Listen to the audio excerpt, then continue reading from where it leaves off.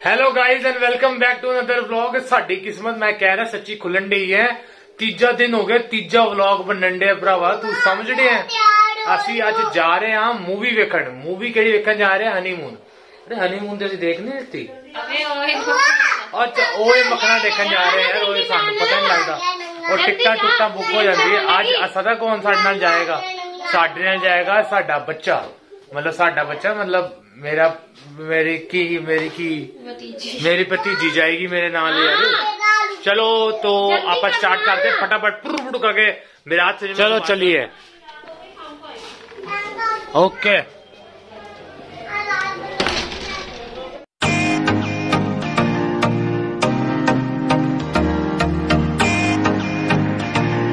ਉਹ ਸੀਗਾ 8:45 ਦਾ 9 ਵੱਜ ਕੇ 10 ਮਿੰਟ ਤੇ ਤੇ ਅਸੀਂ ਪਹੁੰਚ ਰਹੇ ਹਾਂ ਲੈ ਲੈ ਮਤਲਬ ਮੋਟਾ ਮੋਟਾ 15 ਮਿੰਟ ਦੀ ਵੀਡੀਓ ਸਾਡੀ ਨਿਕਲ ਗਈ ਫਿਰ ਤੂੰ ਆ ਗਈ ਮੇਰੇ ਵੀਡੀਓ ਤੇ ਫਿਰ ਫਿਰ ਤੂੰ ਆ ਗਈ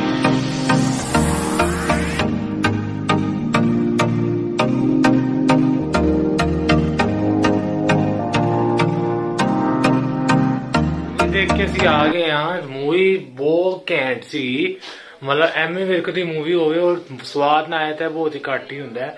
ਇਹ ਜੋ ਤਾਨੀਆਂ ਸੀ ਨਾ ਯਾਰ, ਤੁਹਾਨੂੰ ਪਤਾ ਹੈ ਤਾਨੀਆਂ ਨਾ ਦਿਲ ਚੁਰਾ ਦਿੰਦੀ। ਵੈਸੇ ਤੇ ਸੋਨਮ ਬਾਜਵਾ ਹੀ ਦਿਲ ਚੁਰਾ ਦਿੰਦੀ। ਵੈਸੇ ਤੇ ਹਰ ਮੈਂ ਦੇਖਾਂ, ਹਰ ਇੱਕ ਪੰਜਾਬੀ ਕੁੜੀ ਯਾਰ ਇੱਕ ਪੰਜਾਬੀ ਕੁੜੀ ਨਾ ਅਲੱਗ ਸਵਾਦ ਮੈਂ ਕੀ ਬੋਲਾਂ ਯਾਰ, ਉਹਨਾਂ ਇੱਕ ਹੀ ਦਿਲ ਹੈ ਯਾਰ, ਕਿੰਨਾ ਬੰਦਿਆਂ ਨੂੰ ਦਵਾਂਗੇ ਯਾਰ। ਸਮਝ ਤਾਂ ਆਪ ਸਮਝ ਨਹੀਂ ਆਉਂਦਾ ਯਾਰ ਐਨੇ ਬੰਦੇ ਆ ਕੁੜੀਆਂ ਨੂੰ ਦਿਲ ਦੇਤਾ ਨਾ ਯਾਰ ਪੰਜਾਬੀ ਮੂਵੀਆਂ ਵੇਖ ਵੇਖ ਕੇ। ਐਵੇਂ ਵਿਰਕ ਯਾਰ, ਤੂੰ ਸਹੀ ਨਹੀਂ ਕਰਨ ਡਿਆ ਭਰਾਵਾ।